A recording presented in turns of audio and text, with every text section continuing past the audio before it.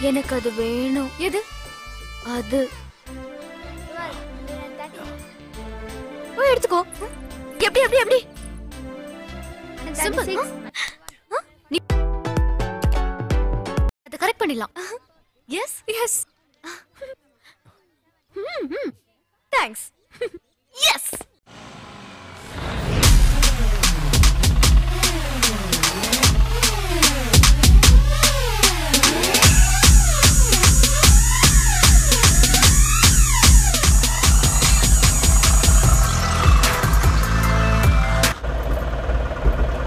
gear உண்மையிலே ஸ்மூத்தாக இருக்குது. உண்மையை சொல்ல போனால் இது கமர்ஷியல் வண்டி மாதிரியே தெரியல. அவ்வளோ ஸ்மூத்தாக இருக்குது கார் ஓட்டுற மாதிரியே இருக்குது. ரிவர்ஸ் கியர் பயங்கரமாக வேலை செய்யுது.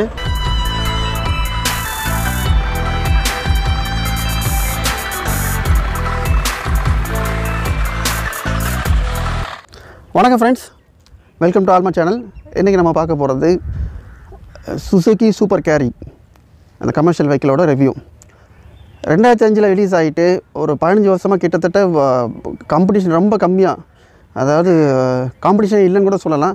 அந்தளவுக்கு பதினஞ்சு வருஷமாக சக்கப்போடு போட்ட குட்டியானு செல்லமாக அழைக்கக்கூடிய டாடா ஏஸோட காம்படிட்டராக இந்த வண்டி இறக்கியிருக்காங்க. இந்த வண்டி வந்து ரெண்டாயிரத்தி ஆறில் ரிலீஸ் ஆச்சு ரெண்டாயிரத்தி ஆறு ரிலீஸ் ஆகிட்டு கிட்டத்தட்ட மூணு வருஷம் ஆயிடுச்சு. ஸோ பதினஞ்சு வருஷமாக ஜாம்பவான இந்த டாடா ஏஸுக்கு போட்டியாக இந்த வண்டியை கலா இறக்கும் போது அந்த காம்படிஷனை ஃபுல்ஃபில் பண்ணுற மாதிரி இல்லை மேட்ச் பண்ணுற மாதிரி காம்படிட்டிவாக என்னென்ன கொடுத்துருக்காங்க என்னென்ன பண்ணியிருக்காங்க அப்படி சொல்லிட்டு ஃபுல் டீட்டெயிலாக பார்க்க போகிறோம் வாங்க வீடியோக்குள்ளே போகலாம் கமர்ஷியல் வெஹிக்கிளும் ரிவ்யூ போடலாம் அப்படின்னு சொல்லிட்டு நம்ம ஃப்ரெண்ட்கிட்ட கேட்டேன். ஸோ அவர் வந்து வாட்டர் சப்ளை பண்ணிகிட்ருக்காரு அதோட கேன்லாம் பார்த்தீங்கன்னா தெரியும். அதெல்லாம் கொடுத்துருந்தாரு. இது ஃப்ரண்ட் லுக்கு கிட்டத்தட்ட ஆம்னி கார் மாதிரி தான் இருக்குது ஸோ அப்படியே ஒரு த்ரீ சிக்ஸ்டி டிகிரி வியூ போயிடலாம்.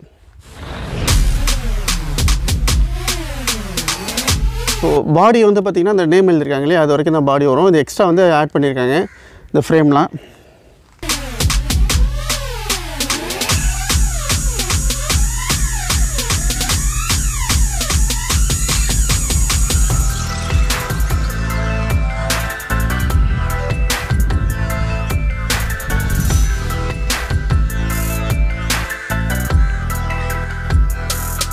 ஃப்ரண்ட் லுக்கு ரொம்ப நல்லா தான் இருக்குது மற்ற வண்டியை கம்பேர் பண்ண நார்மல் கார் மாதிரி தான் தெரியுது. ஃப்ரண்ட்டில் இருக்கும்போது அந்த ஆம்னி கார் மாதிரி இருக்குது பம்பர் போட்டுறாங்க இந்த பம்பரோட கூட ஆம்னியோட பம்பர் தான். வேறு வண்டியோட பம்பர் கிடையாது. இது சூப்பர் கேருக்குன்னு தனியாக பம்பர் இருக்கான்னு தெரியல.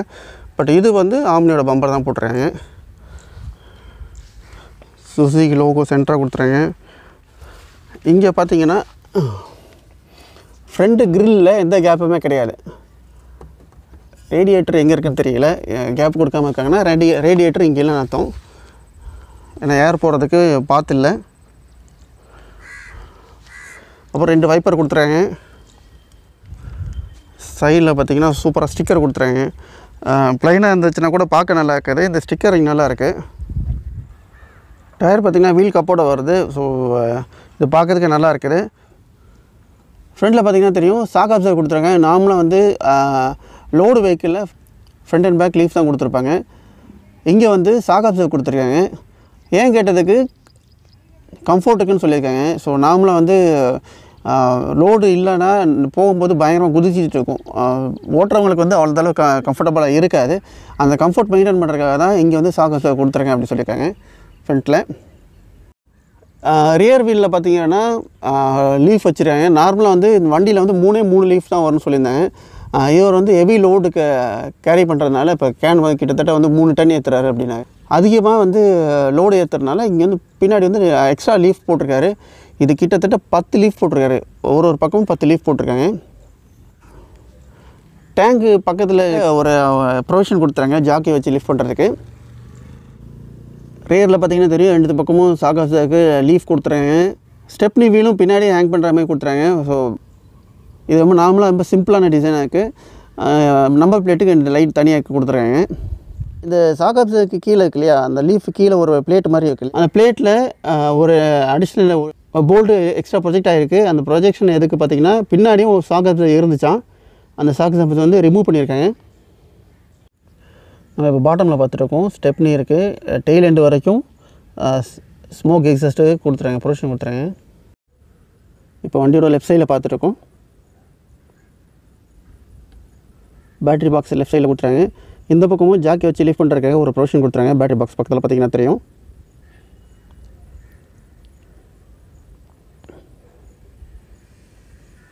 டோர் ஓப்பன் பண்ணிவிட்டு உள்ளே எப்படி இருக்குன்னு பார்க்கலாம். ஆ. ஃப்ளாட் சீட் கொடுத்துறாங்க. ஒரு மூணு பேர் வந்து கம்ஃபர்டபுளாக உட்கார்ற மாதிரி கொடுத்துறாங்க. மற்ற செக்மெண்ட்டில் பார்த்தீங்கன்னா இந்த மாதிரி இருக்காது. நடுவில் எப்படியும் இன்ஜினோட ப்ரொவிஷன் இருக்கும். அதனால் டிஸ்டர்பன்ஸாக இருக்கும். ஸோ சீட் வந்து நல்ல பிரமாதமாக இருக்குது ரெண்டு பேருக்கு நல்லா கம்ஃபர்டபுளாக உட்காரலாம் மூணு பேர் அட்ஜஸ்ட் பண்ணி உட்காந்துட்டு போகலாம். பட் மூணு பேர் அலௌடு இல்லை. இது பார்த்திங்கன்னா ஹேண்டில் கொடுத்துறாங்க இங்கே. டிரைவர் சைடு டிரைவர் சைடு நாமலாம் கொடுக்க மாட்டாங்க. கார்லலாம் இதில் கொடுத்துருக்காங்க. டோரில் ரெண்டு பக்கம் ஸ்பீக்கர் ப்ரொவிஷன் கொடுத்துறாங்க விண்டோ லிஃப்ட் பண்ணுறதுக்கு ஒரு லிவர் கொடுத்துறாங்க அப்போ டோர் ஓப்பன் பண்ணுறதுக்கு ஒரு ஹேண்டில் கொடுத்துறாங்க அப்படியே உள்ளே போனோம் அப்படின்னா பட்ஜெட் கம்மி பண்ணுறதுக்காக இது ஒன்று தான் கொடுத்துறாங்க போலக்கு அந்த சைடு இல்லை கோ பேசஞ்சர் கிடையாது.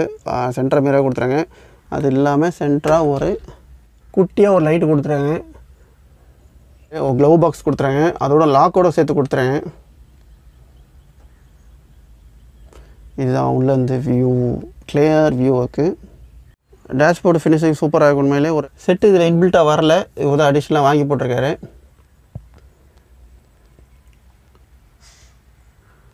முக்கியமான விஷயம் ரெண்டு பேசஞ்சர் சீட்டுக்குமே வந்து ஒரு பெல்ட்டு ப்ரொவிஷன் கொடுத்துறாங்க. ஸோ பெல்ட்டு போட்டு ட்ரைவ் பண்ணுறதுக்கு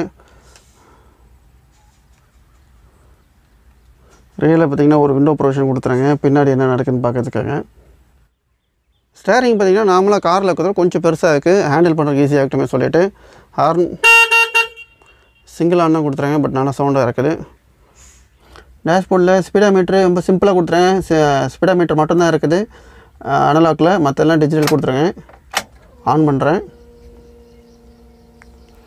ஆன் பண்ணால் டீசலோட அளவு காமி கொடுத்துருங்க எவ்வளோ இருக்குதுன்னு சொல்லிவிட்டு எவ்வளோ கிலோமீட்டர் ஓடிக்குன்னு சொல்லிட்டு காமிச்சிருங்க அப்போ left right indicator oil level battery level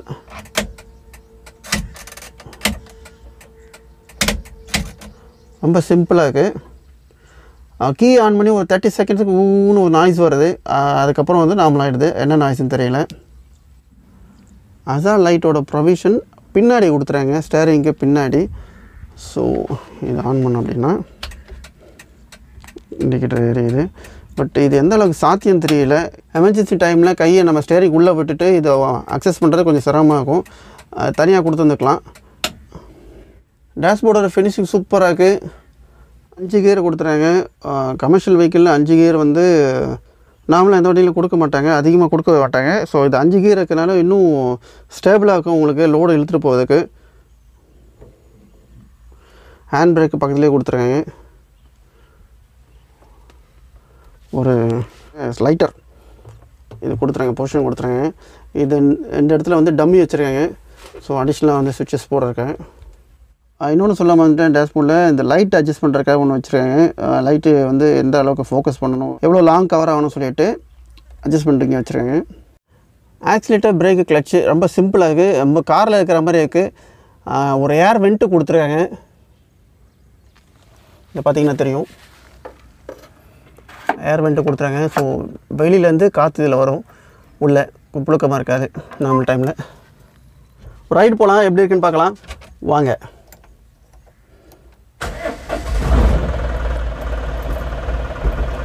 gear உண்மையிலே ஸ்மூத்தாக இருக்குது. நான் கமர்ஷியல் வண்டி ஏற்கனவே ஒரு தடவை ட்ரை பண்ணியிருக்கேன். அது பயங்கர ஹார்டாக இருந்துச்சு. இதில் வந்து பயங்கர ஸ்மூத்தாக இருக்குது. காரில் போகிற மாதிரி தான் இருக்குது கியரு ஃபஸ்ட் கியர் போட்டாச்சு. ஹேண்ட் பிரேக் ரிலீஸ் பண்ணியாச்சு. போகலாம் வாவ். ரொம்ப ஸ்மூத்தாக இருக்குது. ஓட்டுறதுக்கு. உண்மையை சொல்ல போனால் இது கமர்ஷியல் வண்டி மாதிரியே தெரியல. அவ்வளோ ஸ்மூத்தாக இருக்குது கார் ஓட்டுற மாதிரியே இருக்குது. மேபி லோடில் எப்படி இருக்குன்னு தெரியல. ஃபுல் லோடில் இப்போ எம்டி வண்டி எம்டியாக இருக்கிறதுனால இவ்வளோ ஸ்மூத்தாக இருக்குன்னு நினைக்கிறேன்.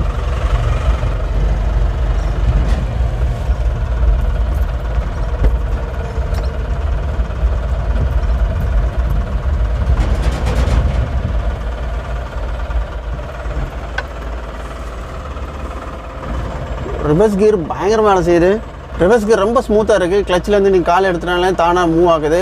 நாமளும் வந்து எல்லாம் வண்டி தான் ஸ்ட்ரைட்டாக ஓட்டிடுவாங்க. ரிவர்ஸ் எடுக்க தான் ரொம்ப கஷ்டப்படுவாங்க. ஸோ அந்த மாதிரி ஆளுங்களுக்கு இது ரொம்ப ஈஸியாக இருக்கும்.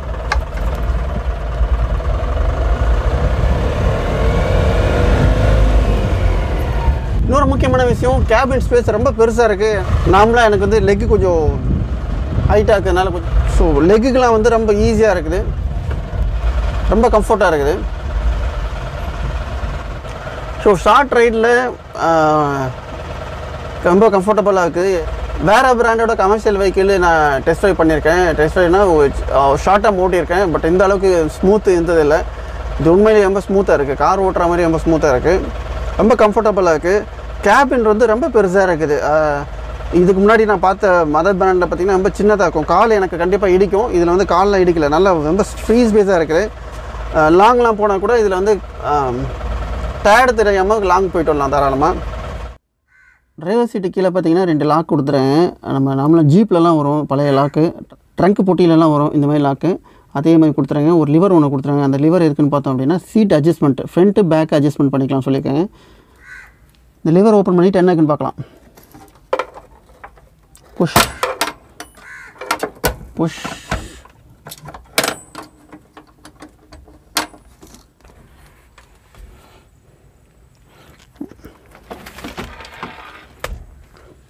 ஒரு டிரைவர் சீட்டை ஓப்பன் பண்ணியாச்சு. ஓப்பன் பண்ணோம்னா அப்படின்னு பார்த்தீங்கன்னா இங்கே ரேடியேட்டர் இங்கே இருக்குது. அதனால தான் ரேடியேட்டருக்கு அங்கே ஓப்பனிங் கொடுக்கல. ஸோ ரொம்ப சிம்பிளாக இருக்கும். ரேடியேட்டருக்கு அதர் பிராண்டில் பார்த்தீங்கன்னா பெரிய பேனல்லாம் கட்டிகிட்டு இருக்கிற மாதிரி இருக்கும். இங்கே ரேடியேட்டர் செக் பண்ணுறது ரொம்ப ஈஸியாக இருக்கும். ஃபில்டர் இங்கே இருக்குது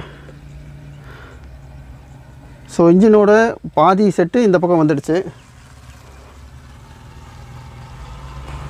இந்த சீட்டை அழகாக ஃபோல்ட் பண்ணிக்கலாம். இங்கே பார்த்தீங்கன்னா தெரியும். ஃபோல்ட் பண்ணி வச்சுருக்கேன்.